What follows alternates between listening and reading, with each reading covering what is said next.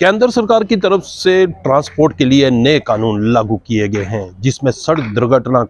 को लेकर जो ड्राइवर हैं, उनके खिलाफ कड़ी से कड़ी कार्रवाई करने के कई जो कानून लाए गए हैं, जिसमें ड्राइवर को सजा के साथ साथ जो जुर्माना भी रखा गया है। इसको लेकर जगह जगह पे आज